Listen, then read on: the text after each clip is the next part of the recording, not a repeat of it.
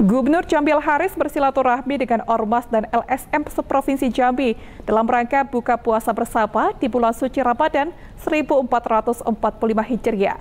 Acara ini bertujuan untuk mempererat tali silaturahmi antara Pemprov Jambi dan pemangku kepentingan sosial yang diharapkan menjadi momen penting dalam meneguhkan kerjasama demi kemajuan daerah Informasi ini sekaligus menutup perjumpaan kita kali ini.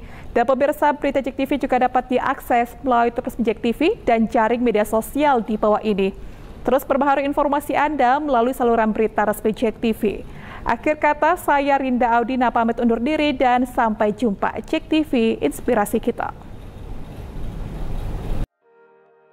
Gubernur Jampel Haris mengadakan buka puasa bersama dengan organisasi kemasyarakatan atau Ormas dan Lembaga Swadaya Masyarakat atau LSM seprovinsi Jambi. Bertempat di pendopo Rumah Dinas Gubernur Jambi, Minggu 24 Maret 2024. Buka puasa bersama ini merupakan ajang silaturahmi antara Gubernur Jambi dengan Ormas dan LSM di Provinsi Jambi.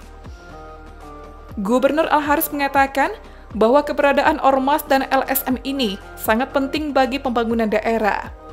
Selain itu, Ormas dan LSM ini turut membantu pemerintah dalam mengawasi pembangunan. Selain itu, pada kesempatan tersebut, Gubernur Al-Haris juga menyampaikan bahwa saat ini dirinya dan Wakil Gubernur akan terus bekerja dalam membangun Provinsi Jambi yang lebih baik lagi.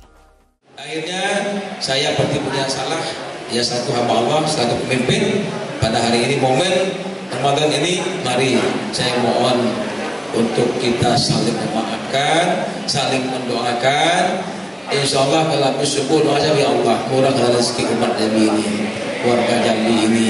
Satukan hati ya Allah gak dalam pertikaian baik-baik.